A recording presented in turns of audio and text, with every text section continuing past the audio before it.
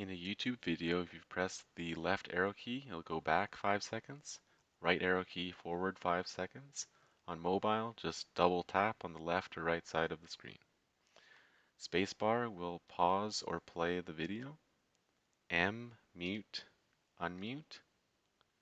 And up and down arrow keys will increase the volume or decrease by 5%. C will turn on captions. F, full screen.